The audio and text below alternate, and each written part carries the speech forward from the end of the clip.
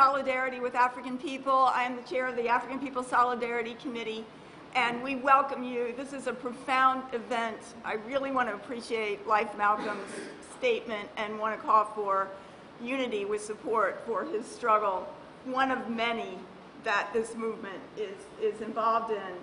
And I want to salute Jesse and the Uhuru Solidarity Movement, Jamie, Kafira, Johan, all the people who have been out, the comrades who have been out there building this and doing this incredible work out, out on the streets of St. Petersburg and this area and talking to other white people to bring them here tonight. And I, I think they have done a tremendous job.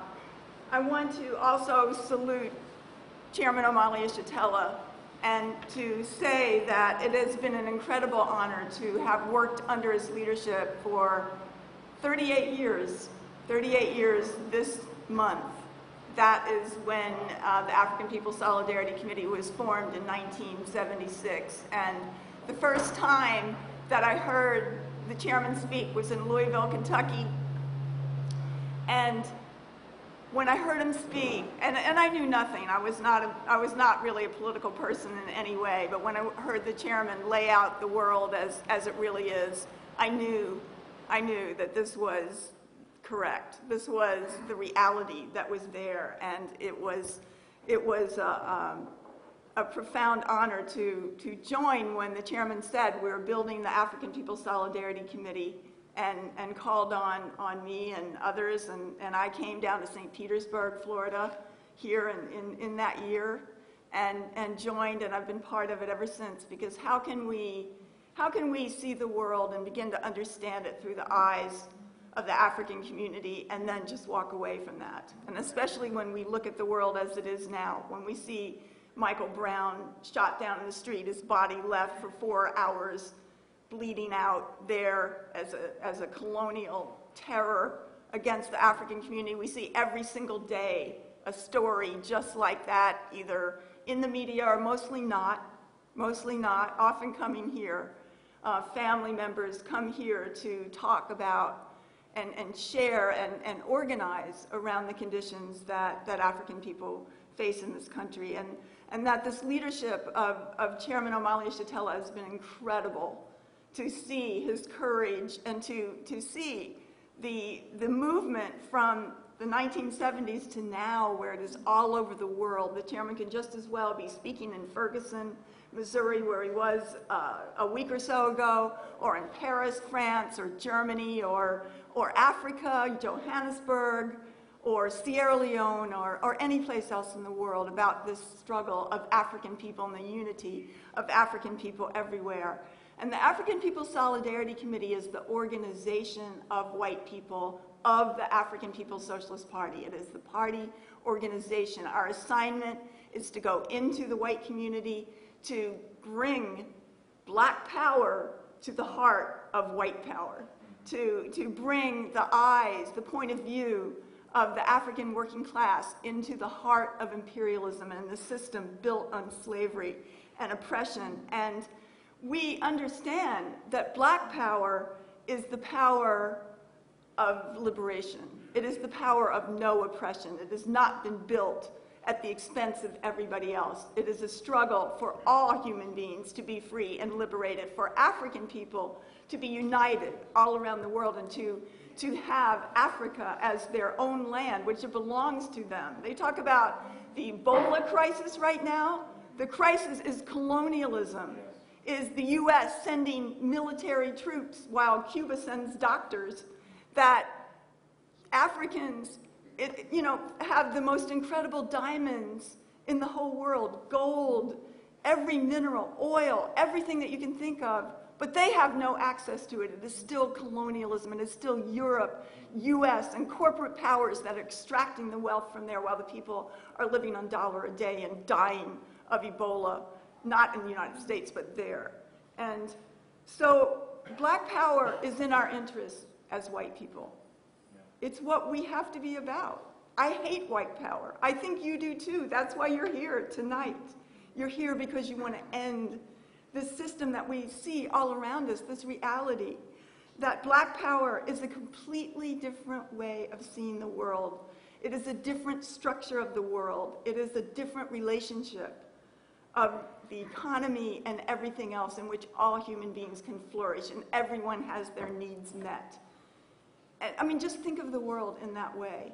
And that is what, what we are fighting for. And I believe that you are in the right place, that any white person has an interest in seeing this system come down. This system has to go. Imperialism and parasitic capitalism have to go. And African people and all oppressed peoples on the planet Earth have a right to their freedom, their liberation, their resources, their, their creativity, and the value of their labor. And this is the future that we want to see. We need revolution. Imperialism has to go.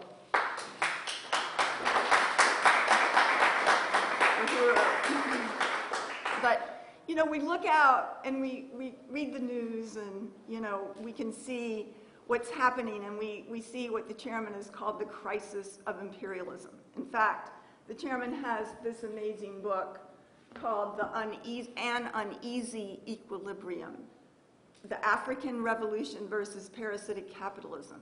An uneasy equilibrium. And uh, equilibrium is a balance, but yet, you know, the balance between imperialist power and the resistance of the people of the world struggling to be free. And right at this moment in history, this is, this is a very uneasy equilibrium that the chairman is saying. The balance is tipping on the side of oppressed and colonized people. So the future is good, not if you're seeing the world through the eyes of the imperialists, but if you see the world through the eyes of everybody that's resisting and standing up against this bloody system, this is an incredible period to live in, and this is what the chairman is talking to us about. And I believe that all of us have to be part of changing this world. We can't, we can't leave this for another generation. Look around you. The endless war, 13 years, the U.S. and Afghanistan, and deeper poverty, deeper oppression every single day. The U.S. and Iraq, bombing Syria, bombing, you know, we see the struggle in occupied Palestine. We see every place around the world that the U.S. is openly and also covertly, also underneath and, and hidden in every place, whether the U.S. is, is forcing sanctions and starving people or bringing guns and drones and bombing the people day by day. And we have to understand, you know, we see the economy. The U.S. economy is not getting better. Every day Obama is saying, oh, it's the light at the end of the tunnel. Where? You know, People are, are working three jobs if they can get a job at all. People are losing their houses. They have no work. The economy is getting worse and worse every day, and it's not going to get better. And whatever it is that, you know, a lot of us expected the younger generation was going to be able to do, they're not going to be able to do that because the world is a different place than, than it ever was. And we have to be able to, to understand the world as it really is. And I know that the chairman has created and built a political understanding or a theory called African internationalism. That is something that we can all embrace. We can begin to, to see the world as the chairman is explaining it, and that's a little bit of what we're going to talk about right now. I know a lot of people in this room are here because you see the conditions faced by Africans every day. You see the reality that there's a Michael Brown shot down every day. In fact, the statistic that we've read is that since August 9th, when Michael Brown was shot, 187 more Africans have been killed. That's more than two a day by police, by white police, actually, in, in this country. And so a lot of people here might be saying, well, we have to fight racism. And I'm sure, you know, that's the thing that we've been taught, and that's the thing that many of us understand. But the fact is, Chairman Omali Yeshitela has told us that the struggle against racism is a self-defeating waste of time. So what does that mean? Well, it means that the problem, as the chairman has said, is not racism, it's colonialism. It's colonialism. When you see it in Afghanistan, you don't call it racism, you call it colonialism. When you see it in occupied Palestine, you don't call it racism, you call it colonialism. And I think that Life Malcolm's presentation is one example of that. White people take care of their dogs and it's considered a heroic thing. An African faces seven years in prison. You know, in the same circumstances, there's a universality to colonialism.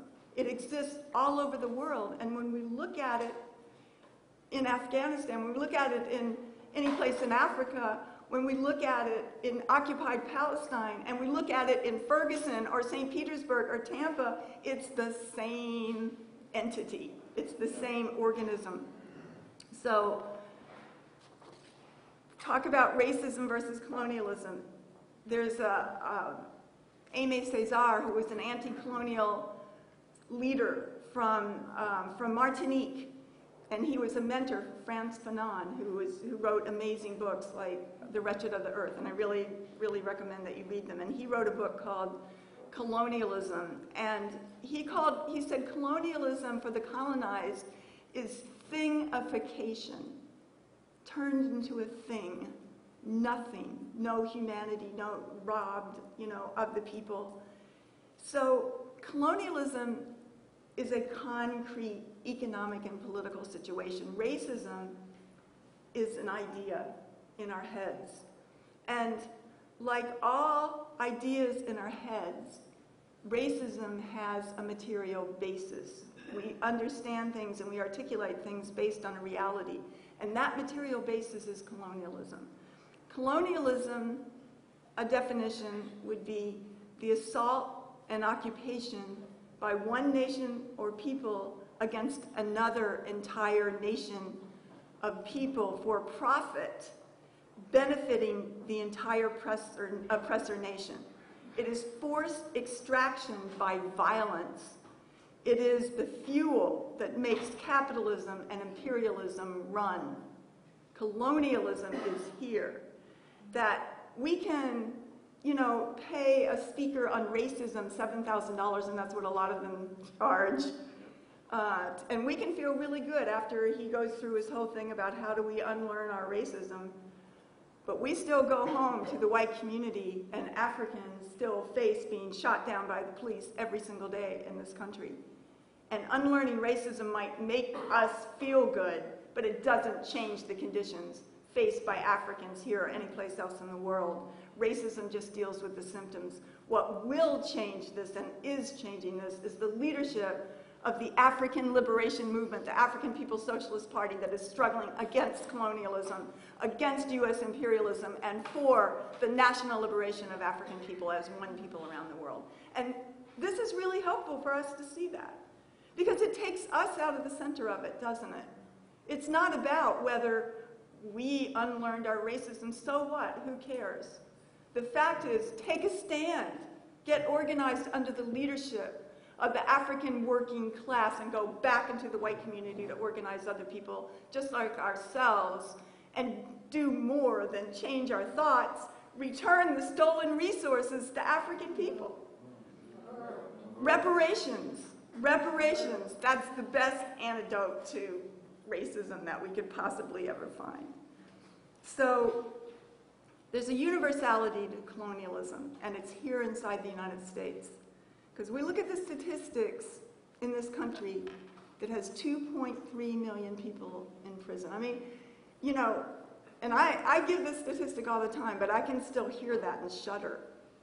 Because China, which has a population of 1 billion people, has 1.5 million people in prison.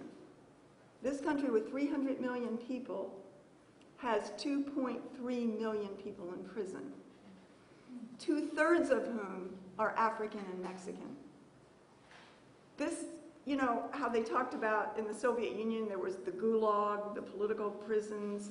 This is the gulag right here. Who's in those prisons are African people and Mexican people going to, going to jail for things that white people don't even get arrested for. White people call daddy who brings the lawyer if there's something that happens. Africans go to prison over and over and over again, in and out of that prison system that is based on colonialism, based on slavery, and based on genocide. We live in a country where 61,000 children are in prison. Most countries in the entire world do not have children's prisons. When you want to talk about the who's the terrorist and the number of children in prison who are sexually and, and you know abused and, and perpetrated against with, with violence in every possible way is astounding. 58% of children in prison are Africans.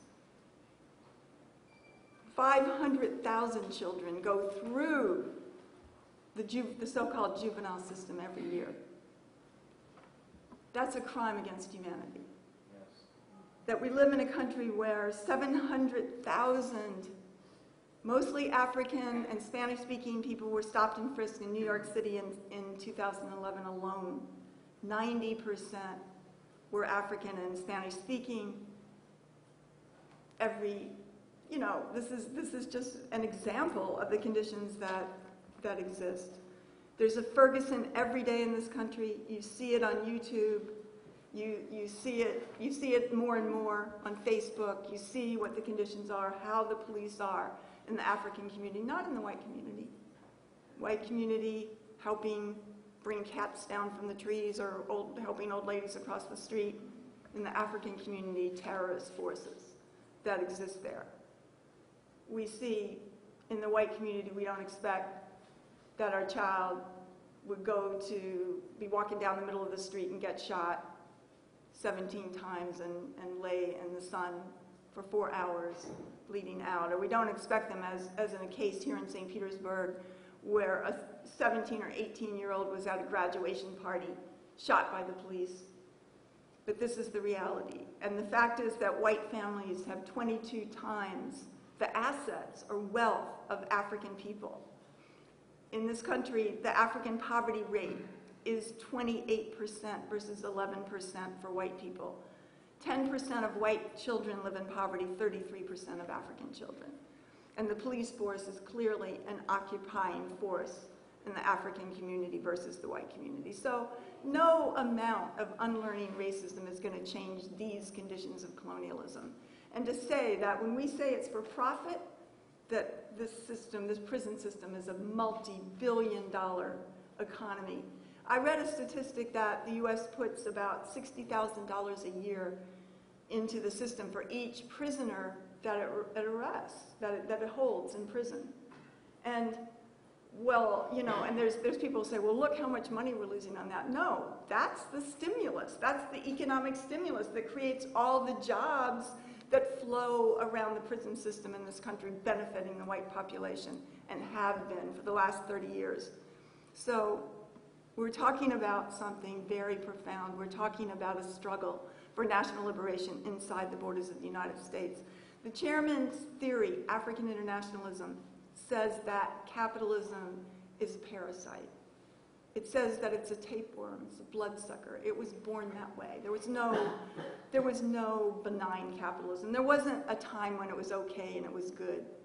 It started by leaving the shores of Europe during a time when Europe was in feudalism and the majority of white people were serfs tied to the land, when everybody was poor, nobody had money, went out, and Europe rescued itself by assaulting Africa, stealing its wealth and turning African human beings into the first commodities of this system called capitalism.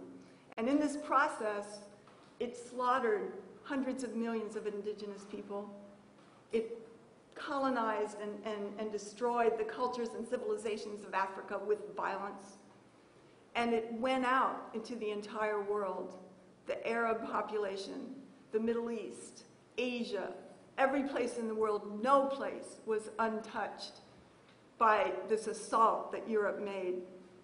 And as the chairman says, what is positive for us is hell for everybody else. And I, I want to read this little segment of this book because of the chairman's An Uneasy Equilibrium. And the chairman says, he says, unlike Marx and Lenin, we African internationalists deny that there's ever been anything progressive about capitalism.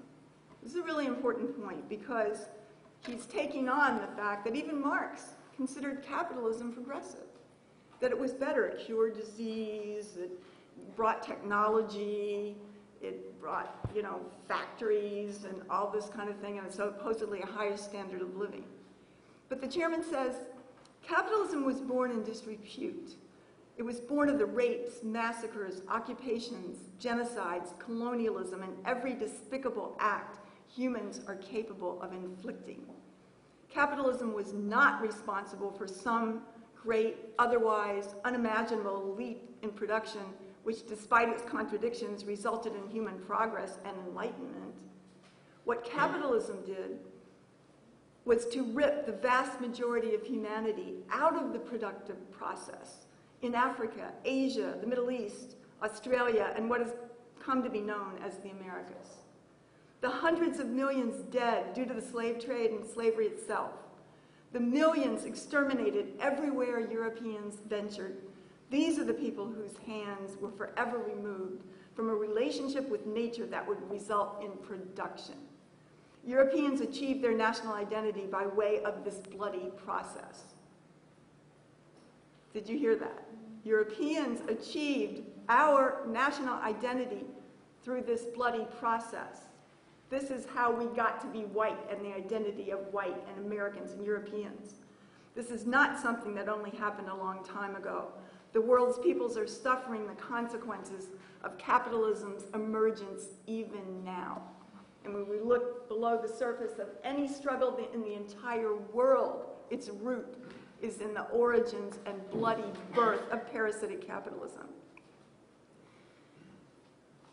This took in order to basically enslave and colonize African people and indigenous people in the entire world took violence that was unprecedented. We have a book that we produced from the African People Solidarity Committee called Overturning the Culture of Violence. And it gives a lot of history of this violence that most of the world had never even imagined could exist that you would do this. And, and you know how they turned it on the end. It, it wasn't indigenous people that scalped, it was white people, by the way, that did the scalping. You know, it wasn't white people, you know, it wasn't indigenous, it wasn't Africans that did these various things. It was white people. Everything that the US and Europe accuse other peoples of doing is what white people, what Europe has brought and visited onto the world. And when we look at this history and we see that everything, everything that, that we take for granted in the white community and see, the humor, the terror, the fact that white people engaged in lynchings, a festival of violence that was actually a public spectacle. It wasn't something done in the night. It was where grandmothers came and children came, and look at the pictures online of, of little white kids all dressed up in fancy pinafores and little bows in their hairs, taken with a, taking a picture, having their picture taken in front of the body of an African hung from a tree, hanged from a tree. That this violence, cutting babies out of African women's vaginas or wombs and cutting out vaginas of, of indigenous women and turning and turning them into hat bands and other kinds of trophies. This is, this is what Europe did and does. So, you know, when the US talks about somebody beheading somebody somewhere, this is what Europe does. This is what Europe has brought to the entire world, to humanity. This is what we have to have to take responsibility for. And the origins of capitalism and what it takes to maintain capitalism this is, this is this question. This is under the surface of every resistance that is bubbling up any place in the world. This is also, I want to recommend this book. It's called The Half Has Never Been Told, Slavery in the Making of American Capitalism. It is a very profound book. It is it reminds me in a lot of ways of overturning the culture of violence. This is just written by a professor. This is not a political activist or anything else. But what he is, it's a very, it's a very emotional book. It is not just statistics. He's telling the stories of Africans. He read, I think it was 2,500 narratives of Africans who had been enslaved. And he intertwines that with what their experiences are with the data that he has. And he's taking on a, a really serious, interesting, important premise. And that is that he's saying that most people in the United States, and certainly liberals, said this during the time of, of slavery and enslavement and now, that in fact, the system of slavery would be more profitable if Africans had been paid because people would work harder to make their money. But he's saying that's not true. That is not true. He's saying what happened was that the period of enslavement, and he's just dealing with the United States, and we have to remember this was going on all throughout the Caribbean, all throughout Brazil, Panama, you know, all other kinds of places all over this hemisphere. But he's saying inside the United States that more wealth was created through the greatest productivity ever imagined in humanity ever through the forced labor of African people enslaved in this country. And what did it take to do that? It took a violence that is unimaginable. And he's really, he's really powerful, and I think it's an important book because it represents the ideas of Chairman Omali Yeshitela permeating into academia and other places where people are having to deal with this. But I wanted to read, I just wanted to read something, a couple of things from this, and because I think it is, it is very, it is very deep. He says, um, he says, enslaved people's creativity enabled their survival, but stolen from them in the form of ever-growing cotton productivity, their, their creativity also expanded the slave-holding South at an unprecedented rate. Enslaved Africans built the modern United States and indeed the entire modern world in both ways obvious and hidden. This is what Chairman Omali Yeshitela says. And he says, he talks about what Africans go through. Did anybody read? I know some people probably saw the book 12 Years, saw the movie 12 Years a Slave, but did anybody read the book? Because you must read that book. That is, that is a, a, a narrative by an African, uh, Solomon, Solomon Northup, who was, who had his, quote, freedom in New York, but he was captured by um, you know, slave dealers, and he was sent and he was forced into enslavement for 12 years, and he, he was able to get out, but he, he wrote a book about it and, and went around and lectured on this book, you know, during that period. And the, one of the things that, that the book 12 Years a Slave shows is, is that when we think of, you know, cotton and picking cotton and Africans picking cotton, is, is that African people who picked cotton were beaten brutally every single day. Every single day. In fact, the more you picked, the higher your quota. And if you didn't make your quota, you were beaten. And if you made your quota, you might be beaten. They were beaten every single day, every single night, they, I mean, you know, women and men had scars that were so deep on their backs. They were inches, you know, in deep. And this is, the this is what it took to make cotton. And cotton was the oil of today. It was the product, the commodity that was for sale, that was the basis of the world economy. And the real, the real actual commodity was African people themselves. But the item for sale, the product that was in use and worth incredible value all over the world was cotton. And so what the author, Edward Baptist, is saying is that when we talk about the enslavement of African people, we have to use the word torture. It was torture. It was sadism beyond anything that we can imagine. And he says, for many whites, whipping was a gateway form of violence that led to bizarrely creative levels of statism. In the sources that document the expansion of cotton production, you can find at one point or another almost every product sold in New Orleans sto- stores converted into an instrument of torture. Carpenter's tools, chains, cotton presses, hackles, handsaws, hoe handles, irons for branding livestock, nails, pokers, smoothing irons, single trees, steel yards, tongs. And he says every modern method of torture was used at one time or another. Sexual humiliation and actually sexual violence. And that is shown in 12 Years a Slave also, by the way, in a very clear way. Sexual violence was a real part of the terror against African women and men. It was colonial violence. Mutilation, electric shocks, solitary confinement in stress positions, tied by their hands hanging from the ceiling, or other way. He says burning, even waterboarding, was used against Africans, and descriptions of runaways posted by enslavers were festooned with descriptions of scars, burns, mutilations, brands, and wounds. This is what it took.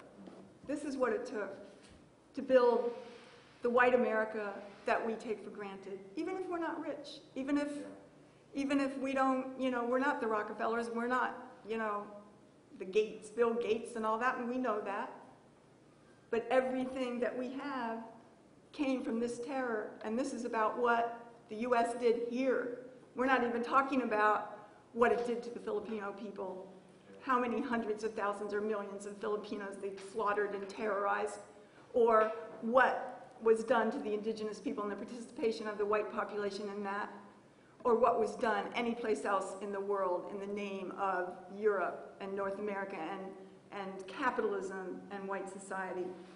And actually, Baptist says in his book, he says, white people inflicted torture far more often than in almost any human society that ever existed.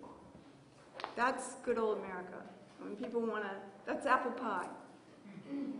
That's uh, Thomas Jefferson, you know, who was a slave owner who raped his, his slave, Sally Hemings, and owned 300 Africans that he didn't set free when he died, who, was, who had children, by the way, who had African children that he sold and forced at a very young age to work in his freaking nail factory. You know, as babies, as toddlers. This was the great Thomas Jefferson that we're told to emulate as the great thinker of progressive America and thought. And I once read that recently that that terror visited on a people stays within the DNA of that people.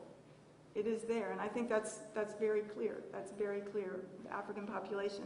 And also wonder about inflicting terror. Does that stay in the DNA of a people? Yeah, I think so. You know, there was just a trial of this, this white soldier that was in Afghanistan, and he raped a 12-year-old and killed the whole family and shot them down. He said, I didn't think of her as a human being. I didn't think of them as human beings. And that, you know, this is not an anomaly. This is capitalism. This is capitalism. This is what it is, and it has to go. And, and that, you know, we live in a society that violence is our entertainment. It's the movies, it's the TV. It's there. It's there to reinforce. Has there, has there been another society? I know Rome had violence, but besides white society that had violence as its entertainment, I have not read of that. So we're talking about what the chairman's telling us is a dialectic. And that means for one thing to exist, another has to, has to be there as well, the opposite. And capitalism is one system.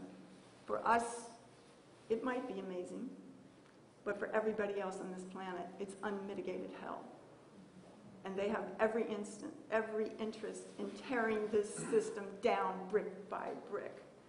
And that we live in a world in which the oppressed have been vilified, have been criminalized because of the defeat of the African Revolution and the world revolutions of the 1960s. A counterinsurgency was waged against them. In this country, Martin Luther King, Malcolm X were brutally murdered.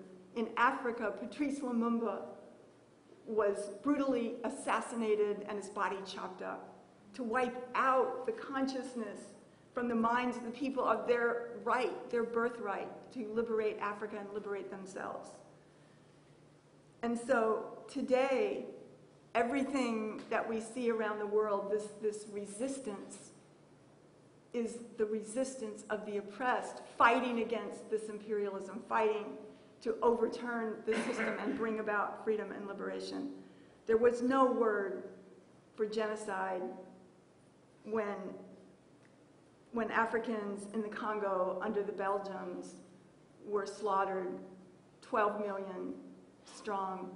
There was no word for genocide when the Philippines under the US were killed by the millions. Indigenous people of this hemisphere slaughtered. There was no word for genocide.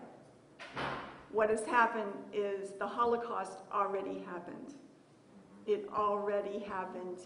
And white people all around the world stood up and never protested that, never took that on, took it for granted, and accepted the colonial benefits that existed. So, you know, we understand that, that we're at a new period of time. We're at a time when, once again, the struggle of oppressed people is winning. The U.S. can't rule in the same old way anymore. It can't have the swagger it once had. We have Obama now with the lowest ratings everywhere, and he was just speaking in, in uh, Baltimore, and crowds of people walked out actually when he started speaking. He was there campaigning for somebody else. People can see it's imperialism. There's colonialism and there's neo-colonialism where they can get the oppressed to, to carry out the will of white power. And we live in a time when we have to, we have to take a stand. We have to say that our interest is in the interest of the entire world. We have to look at the white left, the women's movement, and say, you know, the women's movement got rights for white women at the expense of the black power movement, of the African revolution. And we see, you know, a gay movement that's saying, oh, I'm fighting to, I'm struggling to fight in Afghanistan and kill people in Afghanistan or Iraq or any place else just like any other soldier, you know, or women, white women saying, oh, I want to I want to be on the police department and gun down Africans just like anybody else, you know? And we're saying that is opportunism. That is carrying out white rights. And that is what we are against. We, we recognize that imperialism built on the backs of everybody else on the planet has to go. That's what everybody else is struggling for. That's the only future. This planet has destroyed humanity, it has destroyed the earth, and only the human beings who are oppressed, who are going to bring this down, are going to bring about a world in which all human beings can live. And I want to be on, on the side of history in which the people are struggling. And I, I really, you know, I just want to say that, that capitalism is a system that must go and that we can be part of the future. And I want to say, Iswelenu, E Africa, that means Africa is your land. And I'm going to say Iswelenu, and you say E Africa. Iswelenu. E Africa. Uhuru. Uhuru.